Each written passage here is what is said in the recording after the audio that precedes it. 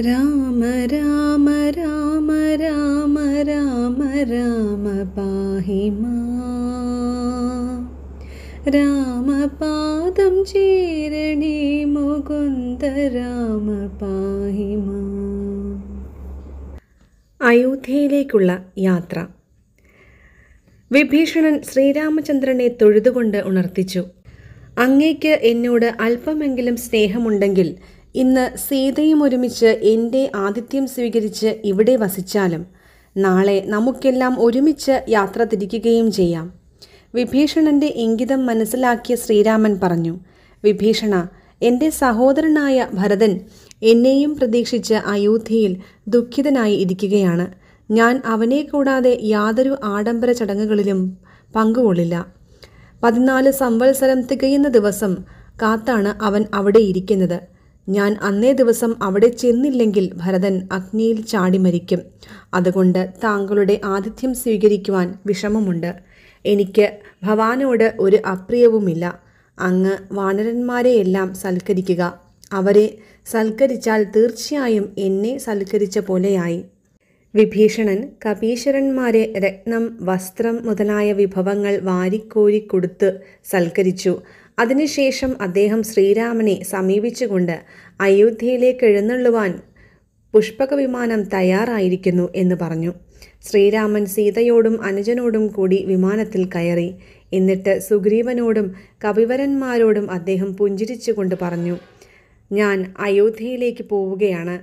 നിങ്ങൾ സുഹൃത്കാര്യമെല്ലാം വേണ്ട പോലെ നിർവഹിച്ചിരിക്കുന്നു. നിങ്ങൾക്കൊരിക്കലും ശത്രുഭയം ഉണ്ടാവുകയില്ല. സുഗ്രീവ താങ്കൾ കിഷ്കിന്തയിൽ സസുഖം വാണാലും അതുപോലെ ലങ്കാരാജ്യം വാണുകൊണ്ട് വിഭീഷണനും സന്തോഷവാനായിരിക്കട്ടെ. ശ്രീരാമന്റെ യാത്രാവചനം കേട്ടപ്പോൾ എല്ലാവരും ദുഃഖിതരായി. അവർ പറഞ്ഞു ഞങ്ങളും അയോധ്യയിലേക്കുണ്ട്. അമ്മമാരെ നേരിൽ കണ്ട് അഭിഷേക മഹോത്സവത്തിൽ പങ്കുകൊണ്ട് ഞങ്ങൾ തിരിച്ചു കൊള്ളാം അങ്ങതിന് അനുവാദം തരണം. ശരി നിങ്ങളെല്ലാവരും ആഗ്രഹിച്ചതുപോലെ കാര്യം നടക്കട്ടെ. എല്ലാവരും വിമാനത്തിൽ കയറിക്കൊള്ളൂ. സ്നേഹജനങ്ങളെ വേറിടുമ്പോൾ ദുഃഖമുണ്ടാവുക സാധാരണമാണല്ലോ എന്ന് ശ്രീരാമൻ പറഞ്ഞപ്പോൾ വിഭീഷണനും വാനരന്മാരുമെല്ലാം വിമാനത്തിൽ കയറി. ഭഗവാന്റെ ആജ്ഞ അനുസരിച്ച് പുഷ്പക വിമാനം അരയന്നം പോലെ ആകാശത്തിലേക്ക് ഉയർന്നു ശ്രീരാമനെ കൊണ്ടും സുഗ്രീവാദികളെ കൊണ്ടും പ്രശോഭിച്ച ആ കുബേരവാഹനം സൂര്യബിംബം പോലെ തിളങ്ങി. സീതയെ അരികത്തിരുത്തിക്കൊണ്ട് രാമൻ നാലുപാടും കണ്ണോടിച്ചു. എന്നിട്ട് ഓരോ കാഴ്ചയും സീതാദേവിക്ക് അദ്ദേഹം വിവരിച്ചു കൊടുക്കുവാൻ തുടങ്ങി. സീതെ ഈ കാണുന്നതാണ് ത്രികൂടജലം അതിന്റെ മുകളിൽ സ്ഥിതി ചെയ്യുന്ന ലങ്കാനഗരം കണ്ടാലും അവിടെ കാണുന്നത് ചോര കട്ട പിടിച്ചതും മാംസം ചിതറിക്കിടക്കുന്നതുമായ യുദ്ധക്കളമാണ്. കവികളും രാക്ഷസന്മാരും തമ്മിൽ ഘോരമായ സംഘട്ടനം നടന്നത് അവിടെ വെച്ചായിരുന്നു. രാവണൻ എന്റെ അമ്പേറ്റ് വീണ് മരിച്ചതും അവിടെയാണ്. കുംഭകർണൻ മകരാക്ഷൻ തുടങ്ങിയവരെ ഞാൻ കൊന്നതും ആ സ്ഥലത്ത് വെച്ച് തന്നെ. ഇന്ദ്രജിത്തിനെയും അതികായനെയും ലക്ഷ്മണൻ കൊന്ന സ്ഥലമാണിത്. ഇതാ നോക്കൂ സേതു ബന്ധിച്ചത് കാണുക. നീ കാരണമാണ് ഈ സാഹസമെല്ലാം ഞാൻ ചെയ്തത്. ഈ സേതു മഹാതീർത്ഥങ്ങളിൽ ഒന്നാണ്. ഈ പ്രദേശം ഞാൻ പ്രതിഷ്ഠിച്ച പരമശിവൻ കുടികൊള്ളുന്ന രാമേശ്വരമാണ്. ഈ സമുദ്രതീരത്ത് വെച്ചാണ് വിഭീഷണൻ എന്നെ അഭയം പ്രാപിച്ചത്. ദേവി മുന്നിൽ കാണുന്നത് കപീന്ദ്രപുരിയായ കിഷ്കിന്തയാകുന്നു ശ്രീരാമൻ ഇങ്ങനെ പലതും വിവരിക്കാൻ തുടങ്ങിയപ്പോൾ സീത അപേക്ഷിച്ചു. നമുക്ക് താര മുതലായ വാനര സ്ത്രീകളെയും കൂട്ടിക്കൊണ്ടു പോകണം. അയോധ്യാവാസികൾക്കത് സന്തോഷകരമായിരിക്കും. ഭർതൃവിയോഗ ദുഃഖം എന്നെപ്പോലെ അറിഞ്ഞവർ ഈ ലോകത്തിൽ ആരുമില്ലല്ലോ. ശ്രീരാമൻ ഇത് അംഗീകരിച്ചു അദ്ദേഹത്തിന്റെ ഇംഗിതം മനസ്സിലാക്കി വിമാനം പതുക്കെ ഭൂമിയിൽ താണു. സീതയുടെ പ്രീത്യർത്ഥം സുഗ്രീവൻ മുതലായ വാനരന്മാരുടെ ഭാര്യമാരെയും കയറ്റി വിമാനം വീണ്ടും ആകാശത്തിൽ ഉയർന്നു യാത്രയായി. ശ്രീരാമൻ വീണ്ടും പാർശ്വനിരീക്ഷണം ആരംഭിച്ചു. അദ്ദേഹം സീതയോടായി പറഞ്ഞു ദേവി നീ ഋഷ്യം മൂക്കാജലം കണ്ടാലും ആ പർവതത്തിന്റെ സമീപത്ത് വെച്ചാണ് ഞാൻ ബാലിയെ കൊന്നത്. അതാ നാം കുറെ കാലം താമസിച്ച പഞ്ചവടി. അതിനടുത്ത അഗസ്ത്യാശ്രമം. സുദീക്ഷണാശ്രമവും കാണുന്നു. ഇതാണ് ചിത്രകൂട പർവതം. അവിടെ വെച്ചാണ് ഭരതനെ നമ്മൾ കണ്ടത്. യമുനാ നദിയുടെ തീരത്ത് കാണുന്നത് ഭരദ്വാജാശ്രമമാകുന്നു. ഗംഗാനദിയാണ് അടുത്ത് കാണുന്നത്. ശൃംഗിവേരാധിപനായ ഗുഹൻ വാഴുന്നത് അവിടെയാണ്. അതാ സരയൂ നദി. പ്രിയെ അയോധ്യയാണ് അങ്ങകലെ നാം കാണുന്നത്. രാഘവൻ ഇത്രയും പറഞ്ഞു തീർന്നപ്പോൾ വിമാനം അദ്ദേഹത്തിന്റെ ഇംഗിതം മനസ്സിലാക്കി ഭൂമിയെ സ്പർശിച്ചു. ശ്രീരാമൻ ഭരദ്വാജ മഹർഷിയുടെ ആശ്രമത്തിലേക്ക് ചെന്നു. അദ്ദേഹം മഹർഷിയോട് സവിനയം അയോധ്യയിലെ വാർത്തകളെല്ലാം അന്വേഷിച്ചു. ഭരതൻ അനുജനുമൊത്ത് സുഖമായിരിക്കുന്നില്ലേ? ആചാര്യന്മാർക്കും മാതാക്കൾക്കും സുഖമല്ലേ? ഭരദ്വാജൻ അയോധ്യ നഗരിയിൽ ആർക്കും ഒരു ദുഃഖവുമില്ല. ഭരതശത്രുഘ്നന്മാർ നിത്യവും ജഡാവൽക്കലാദികൾ ധരിച്ച് ഫലമൂലവും ഭക്ഷിച്ച് അങ്ങയുടെ മെതിയടി സിംഹാസനത്തിൽ വെച്ച് പൂജിച്ച് അങ്ങയുടെ വരവും കാത്തിരിക്കുകയാണ്. അവിടുത്തെ കൃപ കൊണ്ട് എനിക്ക് എല്ലാം മനസ്സിലാക്കാൻ കഴിഞ്ഞു.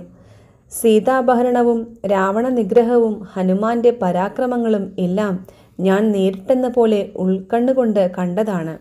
അങ്ങ് ആത്യന്തവിഹീനനാണ് സാക്ഷാൽ മഹാവിഷ്ണുവാണ്. സീത ലക്ഷ്മി ഭഗവതിയും ലക്ഷ്മണൻ ആദിശേഷനുമാണ്. ഇന്ന് അങ്ങ് എന്റെ ആശ്രമത്തിൽ വസിച്ചാലും അടുത്ത ദിവസം അങ്ങേക്ക് അയോധ്യയിലേക്ക് പോകാം. ഹനുമൽ ഭരത സംവാദം ഭരദ്വാജന്റെ കർണാനന്ദകരമായ സ്വീകരണ ഭാഷണം കേട്ട് ശ്രീരാമന്റെ ഉള്ളം കുളിർത്തു. അദ്ദേഹം ആശ്രമത്തിൽ ഭ്രാതൃഭാര്യ സമന്വിതനായി പ്രവേശിച്ചു. അതിനിടയിൽ ശ്രീരാമൻ അല്പമൊന്ന് ആലോചിക്കാതിരുന്നില്ല. എന്നിട്ട് അദ്ദേഹം ഹനുമാനെ വിളിച്ചു പറഞ്ഞു ഹനുമാൻ നീ വേഗം അയോധ്യയിൽ പോയി ഭരതശത്രുഘ്നന്മാരുടെ വിവരം അന്വേഷിച്ചു വരിക. എന്റെ എല്ലാ കാര്യവും വിശദമായി ഭരതനെ ധരിപ്പിക്കണം. പോകുന്ന വഴിക്ക് ഗുഹനെയും കണ്ട് നാം എത്തിയിരിക്കുന്ന വിവരം അറിയിക്കുമല്ലോ. ഹനുമാൻ ഉടനെ മനുഷ്യരൂപം സ്വീകരിച്ച് ഗുഹനെ കണ്ട് രാമവൃത്താന്തം ധരിപ്പിച്ചു. പിന്നീട് നന്ദിഗ്രാമത്തിൽ ചെന്ന് അദ്ദേഹം ഭരതനെ കണ്ടു. ജഡാവൽക്കലധാരിയായി രാമപാതകവും വെച്ച് പൂജിച്ച് സന്യാസവൃത്തിയിൽ ജീവിക്കുന്ന ഭരതനെ നന്ദിഗ്രാമത്തിൽ കണ്ടപ്പോൾ മാരുതിക്ക് അദ്ദേഹത്തോട് എന്തെന്നില്ലാത്ത ബഹുമാനം തോന്നി. ഭരതനെ പോലെ രാമഭക്തനായി ഈ ലോകത്തിൽ മറ്റാരുമില്ലെന്ന് അയാൾക്ക് തോന്നി. ഹനുമാൻ ഭരതന്റെ കാൽക്കൽ സാഷ്ടാംഗം പ്രണമിച്ചുകൊണ്ട് പറഞ്ഞു ഗുണനിധി അങ്ങയുടെ സഹോദരനായ രാമൻ അനുജനോടും പത്നിയോടും വാനരസേനയോടും കൂടി പുഷ്പക വിമാനത്തിൽ ഇപ്പോൾ ഇവിടെ എഴുന്നള്ളും. അദ്ദേഹം രാവണനെയും രാക്ഷസന്മാരെയും നിഗ്രഹിച്ചിട്ടാണ് വരുന്നത്. ഇനി അങ്ങയ്ക്ക് ദുഃഖിക്കേണ്ട യാതൊരാവശ്യവുമില്ല. ഇത് കേട്ട ഭരതന് ആഹ്ലാദം സഹിക്കാനായില്ല. അദ്ദേഹം സന്തോഷാധിക്യത്താൽ ബോധമറ്റു വീണു. പിന്നീട് സമാശ്വസിപ്പിച്ചതിനു ശേഷം അദ്ദേഹം ഹനുമാനെ കെട്ടിപ്പുണർന്നു. ഭരതൻ ഹനുമാനോട് ചോദിച്ചു അങ്ങ് ആരാണ്? ദേവനാണോ? അതോ മനുഷ്യനോ? എനിക്ക് ഹിതകരമായ കാര്യം പറയുവാൻ വന്ന അങ്ങേക്ക് ഞാൻ എന്താണ് നൽകേണ്ടത്? മഹാമേരു മുഴുവനായി തന്നാലും അതിന് പകരമാകുമോ? പിന്നെയൊരു കാര്യം. ശ്രീരാമദേവന് കാട്ടിൽ വെച്ച് വാനരവീരരുമായി ബന്ധമുണ്ടായതെങ്ങനെ? സീതയെ രാക്ഷസരാജാവായ രാവണൻ കട്ടുകൊണ്ടുപോയതെന്തിന്? ഭരതന്റെ സംശയങ്ങൾക്ക് മറുപടിയായി ഹനുമാൻ ചിത്രകൂട പർവതത്തിൽ നിന്ന് ദുഃഖിതരായി ഭരതൻ തിരിച്ചു പോന്നതു മുതൽ ഉണ്ടായ എല്ലാ സംഭവങ്ങളും വിവരിച്ചു പറഞ്ഞു. ശത്രുഘ്നും മന്ത്രിമാരുമെല്ലാം ആശ്ചര്യകരമായ ആ കഥകൾ കേട്ട് അത്ഭുത സ്തബ്ധരായി അയോധ്യ പ്രവേശം. ഭരതൻ ശത്രുഘ്നോട് ഇങ്ങനെ പറഞ്ഞു. സ്വാമി എഴുന്നള്ളുന്ന സമയത്ത് രാജ്യമെല്ലാം ഭംഗിയിൽ അലങ്കരിക്കണം. ക്ഷേത്രങ്ങളിൽ പ്രത്യേകമായ പൂജയും ദീപക്കാഴ്ചയും നടത്തണം. സൂതന്മാർ വൈതാളികന്മാർ തുടങ്ങിയവരെയൊക്കെ വരുത്തണം. വാദ്യഘോഷങ്ങളുടെ കാര്യം മറക്കരുത്. അർഘ്യപാദ്യാദികൾ തയ്യാറാക്കണം. രാജ്ഞിമാരും മന്ത്രിമാരും എല്ലാം മനോഹരമായ വേഷഭൂഷകൾ അണിഞ്ഞ് വന്നു ചേരേണ്ടതാണ്. കൊടിക്കൂറകൾ എല്ലായിടത്തും പാറിക്കളിക്കട്ടെ. വീഥികൾ എല്ലാം അടിച്ചു മെഴുകി വൃത്തിയായിരിക്കണം. പൂർണകുംഭങ്ങൾ ധൂപദീപങ്ങൾ മുതലായവയുമായി പ്രവേശനദ്വാരത്തിൽ എല്ലാവരും തയ്യാറായി നിൽക്കണം. ജനങ്ങളെ ഒന്നടങ്കം ശ്രീരാമചന്ദ്രന്റെ ആഗമന വൃത്താന്തം അറിയിച്ചാലും ശത്രുഘ്നൻ ഇതനുസരിച്ച് എല്ലാ ഒരുക്കങ്ങളും പൂർത്തിയാക്കി. പൗരജനങ്ങൾ മലവെള്ളം പോലെ ശ്രീരാമനെ കാണാൻ അയോധ്യ നഗരിയിൽ നിറഞ്ഞു. ചതുരംഗ സേനകൾ സർവത്ര നിരന്നു നിൽപ്പായി. ഭരതൻ ശ്രീരാമന്റെ മെതിയടി ശിരസിൽ വെച്ച് രാമനെ എതിരേൽക്കാൻ തയ്യാറായി. അത്യന്തം പ്രശോഭിക്കുന്ന പുഷ്പക വിമാനം അപ്പോൾ അകലെ പ്രത്യക്ഷപ്പെട്ടു. ഉടനെ ഹനുമാൻ പൗരാവലിയെ അറിയിച്ചു. ഈ പുഷ്പക വിമാനം ബ്രഹ്മാവ് നിർമ്മിച്ചതാണ്. ആ വിമാനത്തിൽ അതാ ശ്രീരാമനും ലക്ഷ്മണനും സീതയും വാനരന്മാരും വിഭീഷണനും വരുന്നു. നിങ്ങളെല്ലാവരും ആ കാഴ്ച കണ്ടുകൊള്ളൂ. താമസം വിന ജനങ്ങൾ ഒന്നിച്ച് അദ്ദേഹം ഇതാ ശ്രീരാമൻ എന്ന് ഉച്ചത്തിൽ ആർത്തു വിളിക്കാൻ തുടങ്ങി. എല്ലാവരും ശ്രീരാമസ്വാമിയെ വണങ്ങുവാൻ സന്നദ്ധരായി നിന്നു. വിമാനത്തിൽ ഇരിക്കുന്ന ശ്രീരാമനെ മേരു പർവതത്തിന്റെ മുകളിൽ പ്രശോഭിക്കുന്ന സൂര്യദേവനെന്ന പോലെ ഭരതൻ നോക്കിക്കണ്ടു. ശ്രീരാമന്റെ കൽപ്പനയനുസരിച്ച് വിമാനം സാവധാനത്തിൽ താണു തുടങ്ങി. ആനന്ദ ബാഷ്മം പൊഴിച്ചുകൊണ്ട് ഭരതശത്രുഘ്നന്മാർ വിമാനത്തിൽ കയറി. അവർ രാമപാദത്തിൽ വീണ് നമസ്കരിച്ചു. അവരെ ശ്രീരാമൻ പിടിച്ചെഴുന്നേൽപ്പിച്ച് മടിയിലിരുത്തി. വളരെ കാലം കഴിഞ്ഞ് കണ്ടുമുട്ടിയ ആ സഹോദരർ എല്ലാം മറന്ന് അല്പനിമിഷം ആനന്ദത്തിൽ മുഴുകി. അനന്തരം ഭരതൻ ലക്ഷ്മണനോടൊന്നിച്ച് സീതയെ സമീപിച്ച് അവരുടെ കാൽക്കൽ വീണ് നമസ്കരിച്ചു. പിന്നെ സുഗ്രീവൻ അങ്കദൻ ജാമ്പവാൻ നീലൻ മൈന്ദൻ വിവിധൻ സുഷേണൻ ഗജൻ ഗവയൻ തുടങ്ങിയ വാനര ശ്രേഷ്ഠന്മാരെ ഭരതൻ മുറുകെ പുണരാൻ തുടങ്ങി. കവികളെല്ലാം അപ്പോൾ പുരുഷവേഷം സ്വീകരിച്ചു. ഭരതൻ അനന്തരം സുഗ്രീവനെ പ്രത്യേകമായി ആലിംഗനം ചെയ്തുകൊണ്ട് ഗദ്ഗതത്തോടുകൂടി പറഞ്ഞു അങ്ങയുടെ സഹായം കൊണ്ടാണ് ജ്യേഷ്ഠന് രാവണനെ ജയിക്കാൻ കഴിഞ്ഞത്. ദശരഥ മഹാരാജാവിന് നാലാണ് മക്കൾ. ഇപ്പോൾ അങ്ങ് അഞ്ചാമത്തേതായി തീർന്നിരിക്കുന്നു. അങ്ങ് ഞങ്ങളുടെ സഹോദരനാണ്. ശ്രീരാമൻ ദുഃഖകർഷിതമായ കൗസല്യാദേവിയുടെ പാദത്തിൽ വീണ് നമസ്കരിച്ചു. ദേവിയുടെ മാതൃഹൃദയം തരളിതമായി. തുടർന്ന് രാമൻ കൈകേയിയെയും സുമിത്രയെയും കണ്ട് കൈകൂപ്പി. ലക്ഷ്മണനും മാതൃപാദങ്ങൾ പൂജിക്കുന്നതിൽ ശ്രീരാമനെ അനുഗമിച്ചു. ഭക്തി പരവശനും സന്തുഷ്ടചിത്തനുമായ ഭരതൻ മെതിയടി ശിരസിൽ നിന്നെടുത്ത് ശ്രീരാമന്റെ കാലടികളിൽ അണിയിച്ചുകൊണ്ട് പറഞ്ഞു പണ്ട് അങ്ങ് എന്നെ ഏൽപ്പിച്ച രാജ്യം ഞാനിതാ അങ്ങയ്ക്ക് തന്നെ തിരിച്ചു തരുന്നു. എന്റെ ആഗ്രഹമെല്ലാം ഇന്ന് സഫലമായി. എന്റെ ജന്മം കൃതാർത്ഥമായി. രാജഭണ്ഡാരവും സൈന്യങ്ങളുമെല്ലാം ഇന്ന് ശതഗുണീഭവിച്ചിരിക്കുന്നു. അങ്ങയുടെ അനുഗ്രഹം കൊണ്ടാണ് ഞാൻ ഇതെല്ലാം നേടിയത്. ഇനി അങ്ങ് തന്നെ ഈ രാജ്യം പരിപാലനം ചെയ്താലും. രാജ്യാഭിഷേകം. ഭരതന്റെ നിസ്സംഗമായ ഭക്തിഭാവം കണ്ടപ്പോൾ കവികളെല്ലാവരും അദ്ദേഹത്തെ പ്രശംസിച്ചു. ശ്രീരാമൻ ഭരതനെ തന്റെ സമീപത്തിരുത്തി. അവർ നന്ദി ഗ്രാമത്തിലേക്ക് വിമാനത്തിൽ പോയി. വിമാനം അവിടെ സാവകാശം ഇറങ്ങിയ ഉടനെ ശ്രീരാമൻ പുഷ്പക വിമാനത്തോടായി പറഞ്ഞു നീ ഇനി മടങ്ങിപ്പോയി പണ്ടെന്ന പോലെ വൈശ്രവണനെ സേവിച്ചാലും ഞാൻ വിചാരിക്കുന്ന സമയത്ത് വീണ്ടും നീ പ്രത്യക്ഷപ്പെടണം. വിമാനം പതുക്കെ അളകാപുരിയിലേക്ക് യാത്രയായി. ശ്രീരാമൻ ഭരതനോട് കൂടി ചെന്ന് വസിഷ്ഠാചാര്യരുടെ പാദങ്ങൾ വണങ്ങി. മഹർഷിയുടെ അനുമതിയോടുകൂടി അദ്ദേഹം ഭദ്രാസനത്തിൽ ഇരുന്നു. അപ്പോൾ എല്ലാവരും ചേർന്ന് രാമൻ രാജാവായി ഭൂതലം രക്ഷിക്കണേ എന്ന് അഭ്യർത്ഥിച്ചു.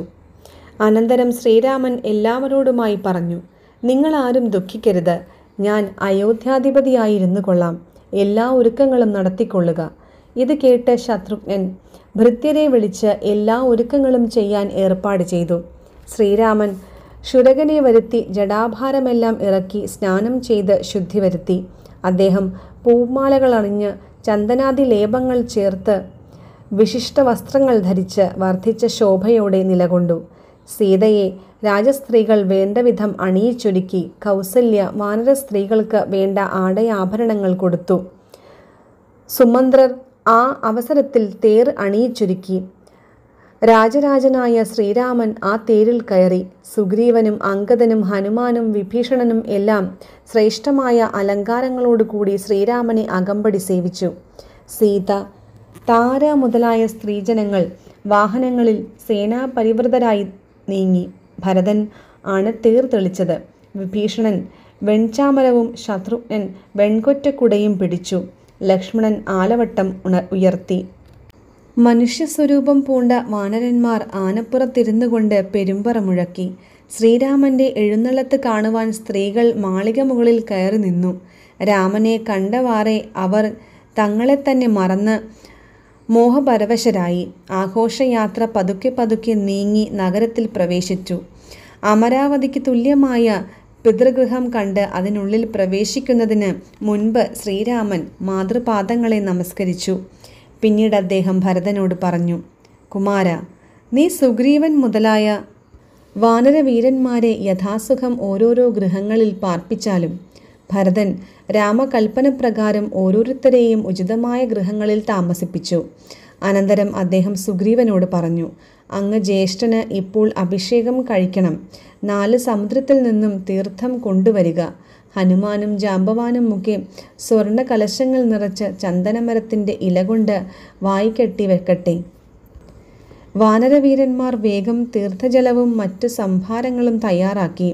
പിന്നീട് ശ്രീരാമചന്ദ്രനെ സിംഹാസനത്തിലിരുത്തി ഇടതുഭാഗം സീതാദേവിയെ കൊണ്ട് അലങ്കരിച്ചു തുടർന്ന് വസിഷ്ഠൻ വാമദേവൻ ജാബാലി ആദ്യായ മഹർഷി പുങ്കവന്മാർ രാമനെ അഭിഷേകം ചെയ്തു. വേദമന്ത്രങ്ങൾ യഥാവിധി ഉച്ചരിക്കപ്പെട്ടു. വിഭീഷണൻ രത്നദണ്ഡങ്ങളുള്ള ചാമരം വീശി. ശത്രുഘ്നനാണ് വെൺകൊറ്റക്കുട പിടിച്ചത്. ആകാശദേശത്തു നിന്ന് ദേവന്മാർ ശ്രീരാമനെ വാഴ്ത്തി സ്തുതിച്ചു. ദേവേന്ദ്രൻ ഹനുമാന്റെ കയ്യിൽ ഒരു പ്രത്യേക ഹാരം രാമന് കൊടുക്കാൻ നൽകി. അപ്സരസുകൾ നൃത്തം വെച്ചു. ദേവകിന്നര യക്ഷഗന്ധർവന്മാർ ഗാനമാലപിച്ചു. ആകാശത്തു നിന്ന് പുഷ്പവൃഷ്ടിയുണ്ടായി. രത്നകിരീടം ധരിച്ച് കറുകനാമ്പ് പോലെ ശ്യാമള നിറമുള്ളതായി കാമദേവ തുല്യനായി സൂര്യശോഭിതനായി മഞ്ഞ വസ്ത്രം ധരിച്ച് ഇടതുഭാഗത്ത് സീതാസഹിതനായി രത്നസിംഹാസനത്തിൽ ഇരിക്കുന്ന ശ്രീരാമനെ കണ്ടപ്പോൾ പാർവതി പരമേശ്വരന്മാർ അവിടെ എത്തി. ശിവൻ ഭക്തിപുരസരം അദ്ദേഹത്തെ നമസ്കരിച്ചുകൊണ്ട് സ്തുതിക്കുവാൻ തുടങ്ങി. ശ്യാമള കോമളനും സീതാദേവി സഹിതനും അലങ്കാരഭൂഷിതനും ആയ രാമദേവ അങ്ങയ്ക്ക് നമസ്കാരം. അങ്ങ് ആദിമധ്യാന്ത വിഹീനനാണ് വേദസ്വരൂപനുമാണ്. വേദജ്ഞന്മാർക്ക് മാത്രം ഗമ്യമായ അങ്ങയെ ഞാൻ നമസ്കരിക്കുന്നു.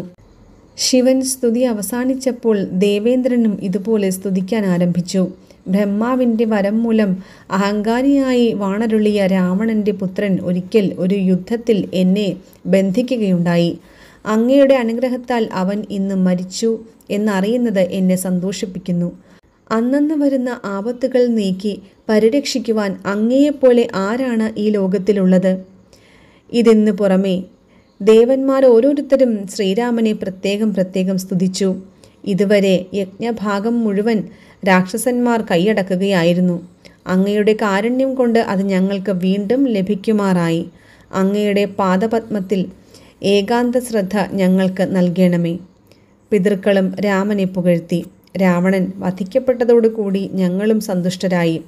മൂന്ന് ലോകത്തിനും ഇനിമേൽ അഭിവൃദ്ധിയുണ്ടാകും പിണ്ഡാദികൾ വിധി പോലെ ഇനി തുടരും എന്നതുകൊണ്ട് ഞങ്ങൾ സംതൃപ്തരാണ്. യക്ഷന്മാർ സ്തുതിച്ചത് ഇങ്ങനെയാണ്.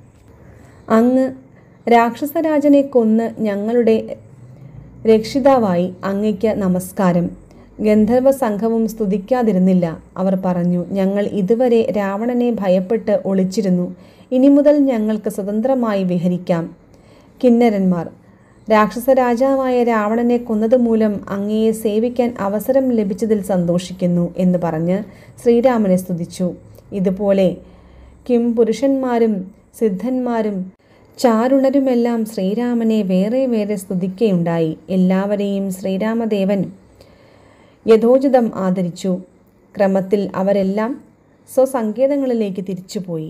ശ്രീരാമൻ രാജ്യഭാരമേറ്റതോടെ ഭൂമി സസ്യസമൃദ്ധവും പുഷ്പ ഫലാഠ്യവുമായി ദുർഗന്ധികളായ പൂക്കൾ പോലും സുഗന്ധികളായി തീർന്നു ബ്രാഹ്മണന്മാർക്ക് രാഘവൻ അനേകായിരം പശുക്കൾ സ്വർണം രത്നം ആഭരണങ്ങൾ തുടങ്ങിയവ ദാനം ചെയ്തു. സൂര്യനെപ്പോലെ പ്രശോഭിക്കുന്ന ഒരു നവരത്നമാല സുഗ്രീവന് സ്നേഹപൂർവം നൽകി. അങ്കദന് ദിവ്യമായ രണ്ട് തോൾവളകളാണ് സമ്മാനിച്ചത്. ലോകത്രയം മുഴുവൻ കൊടുത്താലും പകരമാകാത്ത ഒരു രത്നഹാരം സീതയ്ക്ക് നൽകി. സീത അത് കഴുത്തിൽ നിന്ന് ഊരിയെടുത്ത് ഭർത്താവിനെയും വാനരന്മാരെയും മാറി മാറി നോക്കി. സീതയുടെ മനസ്സിലിരിപ്പ് കണ്ട രാമൻ മാല ദേവിക്കിഷ്ടമുള്ളവർക്ക് കൊടുത്തുകൊള്ളുവാൻ പറഞ്ഞു. സീതാദേവി ഒട്ടും സംശയിച്ചില്ല. ആ മണിമാല ഹനുമാന്റെ കണ്ഠത്തിൽ അർപ്പിച്ചു. മാലയണിഞ്ഞ് സുകുമാര കലൈബരനായി കൂപ്പ് കൈയോടെ നിൽക്കുന്ന ഹനുമാനെ അരികെ വിളിച്ച ശ്രീരാമൻ പറഞ്ഞു ഹനുമാൻ താങ്കൾ വേണ്ട വരം ചോദിച്ചുകൊള്ളൂ. ഹനുമാൻ ഭക്തിപൂർവം പറഞ്ഞു അങ്ങയുടെ തിരുനാമം ജപിച്ച് എനിക്ക് മതി വന്നിട്ടില്ല. അതിനാൽ അവിടുത്തെ തിരുനാമം ഓർത്തുകൊണ്ടും ശ്രവിച്ചുകൊണ്ടും ഞാൻ ഈ ഭൂമിയിൽ തന്നെ വസിച്ചുകൊള്ളാം. അതിനുള്ള അചഞ്ചല ഭക്തിയാണ് എനിക്കാവശ്യം. ശ്രീരാമൻ സന്തുഷ്ടനായി പറഞ്ഞു ശരി എന്റെ കഥ നിലനിൽക്കുന്ന കാലം വരെ നീ ജീവൻ മുക്തനായി ലോകത്തിൽ വസിക്കുക. നിനക്ക് തീർച്ചയായും സായുജ്യം ലഭിക്കും. സീതയും ഹനുമാനെ അനുഗ്രഹിക്കുകയുണ്ടായി. അങ്ങേക്ക് എല്ലാ സൗഖ്യങ്ങളും എവിടെയിരുന്നാലും അനായാസം കൈവരട്ടെ. ഈ വരദാനമെല്ലാം കേട്ട് മനം തെളിഞ്ഞ മാരുതി സന്തോഷാശ്രുക്കൾ തൂകിക്കൊണ്ട് ശ്രീരാമനെയും സീതയെയും നമസ്കരിച്ച് ഹിമാലയ പർവതത്തിലേക്ക് യാത്രയായി. ശ്രീരാമൻ പിന്നീട് ഗുഹനെ വിളിച്ചു പറഞ്ഞു സഖേ താങ്കൾ ശൃംഗിവേരത്തിൽ ചെന്ന് എന്നെ തന്നെ സ്മരിച്ച് ജീവിക്കുക. സ്വയം നേടിയ സുഖഭോഗങ്ങൾ അനുഭവിച്ച് അങ്ങ് സൗഖ്യത്തോടെ ജീവിച്ച് സായുജ്യം നേടിയാലും. ദിവ്യങ്ങളായ വസ്ത്രാഭരണങ്ങൾ നൽകി ശ്രീരാമൻ ഗുഹനെ യാത്രയാക്കി. അയാൾ ശൃംഗിവേര പ്രവേശിച്ച് ഗംഗാനദീതീരത്ത് സസുഖം വാണു. അമൂല്യങ്ങളായ രത്നാഭരണങ്ങൾ വാനരന്മാർക്ക് നൽകി അവരെ ഗാഠമായി പുണർന്ന് കിഷ്കിന്തയിലേക്ക് യാത്രയാക്കി. സീതയുടെ പിതാവായ ജനകന് നൂതനമായ വസ്ത്രങ്ങൾ നൽകി ആദരിക്കുവാൻ സീതയെ വിദേഹ രാജ്യത്തേക്ക് അയച്ചു. കാശി രാജാവിനും ശ്രേഷ്ഠ വസ്ത്രങ്ങൾ നൽകുകയുണ്ടായി. ഇനിയും പല രാജാക്കന്മാർക്കും യഥോചിതം ആഭരണാദികൾ നൽകി. ആ അവസരത്തിൽ വിഭീഷണൻ ശ്രീരാമനെ സമീപിച്ചുകൊണ്ട് പറഞ്ഞു അങ്ങയെ രക്ഷിതാവായി ലഭിച്ചത് കാരണം എനിക്ക് ശത്രുക്കളെ ജയിക്കുവാൻ കഴിഞ്ഞു. അത് കേട്ടപ്പോൾ നീ ആ ചന്ദ്രതാരം ലങ്കയിൽ വസിച്ചാലും നിനക്ക് ശത്രുക്കളിൽ നിന്ന് ഒരു കാലത്തും ഭയം ഉണ്ടാവുകയില്ല. വിഷ്ണു ലിംഗത്തെ പൂജിച്ച് വൈഷ്ണവനായി അങ്ങ് ജീവിച്ചാലും എന്ന് രാമൻ തിരുവടി വിഭീഷണനെ അനുഗ്രഹിച്ചു. വിഭീഷണൻ വിയോഗദുഃഖം പോരാഞ്ഞ് കണ്ണുനീർ വാർത്ത് ഗദ്ഗതത്തോടുകൂടി യാത്ര പറഞ്ഞ് ഒരുവിധം രാമസമീപത്ത് നിന്ന് യാത്ര തിരിച്ചു. അയാൾ സസന്തോഷം ലങ്കയിൽ എത്തി ഭക്തിപൂർവം ശ്രീരാമനെ അനുസ്മരിച്ചുകൊണ്ട് ജീവിതം മുന്നോട്ട് നീക്കി. ശ്രീരാമന്റെ രാജ്യഭാരഫലം. ശ്രീരാമൻ സീതാസമന്വിതനായി രാജ്യഭാരം ചെയ്തുകൊണ്ട് ജീവിച്ചു പോന്നു. അശ്വമേധാദികൾ ചെയ്ത് കീർത്തി വർദ്ധിപ്പിച്ചു. അദ്ദേഹത്തിന്റെ രാജ്യഭാരം കൊണ്ട് ഭൂമി സമ്പൽ സമൃദ്ധമായി. സ്ത്രീകൾക്ക് വൈധവ്യ ദുഃഖമോ മറ്റുള്ളവർക്ക് വ്യാധി ഭയമോ ഇല്ലാതായി. ഭൂമി സസ്യസമ്പൂർണമായി തീർന്നു. ശത്രുഭയം തീരെ ഇല്ലാതായി. ബാലമരണങ്ങളോ അകാല വർഷങ്ങളോ ഉണ്ടായിരുന്നില്ല. ജനങ്ങൾ രാമപൂജ തത്പരന്മാരായി ആശ്രമധർമ്മങ്ങൾക്ക് യാതൊരു മുടക്കവും ഉണ്ടായിരുന്നില്ല. നന്മയല്ലാതെ മറ്റൊന്നും ഭൂമിയിൽ ഇല്ലാതായി. പരദ്രവ്യത്തിലോ പരതാരങ്ങളിലോ ആർക്കും താല്പര്യമില്ലാതായി പിതാവ് മക്കളെ എന്ന പോലെ ശ്രീരാമൻ തന്റെ പ്രജകളെ സംരക്ഷിച്ചു. അയോധ്യാവാസികൾക്ക് ഇതിൽ പരം സുഖം സ്വർഗലോകത്ത് കൂടി കിട്ടാൻ പ്രയാസം. സാകേതം ചുരുക്കത്തിൽ വൈകുണ്ഠ തുല്യമായി മാറി. രാമായണത്തിന്റെ ഫലശ്രുതി. പണ്ട് ശിവൻ പാർവതീദേവിക്ക് പറഞ്ഞു കൊടുത്തതാണ് ഈ ആധ്യാത്മ രാമായണം ഇത് അധ്യയനം ചെയ്താൽ മനുഷ്യർക്കെല്ലാം മുക്തി ലഭിക്കും. മൈത്രിയും ധനധാന്യ സമൃദ്ധിയും ശത്രുനാശവും ആരോഗ്യവും ദീർഘായുസ്സും ഉളവാക്കാൻ ശ്രീരാമകഥ സഹായകമാകും. പൂർവം രാമതപോവനാദിഗമനം हत्वा मृगं काञ्चनं वैदेहिहरणं जडायुमरणं सुग्रीवसम्भाषणं बालीनिग्रहणं समुद्रतरणं लङ्कापुरीदहनं पश्चात् रावणकुम्भकर्णहनम् एतद्धि രാമായണം.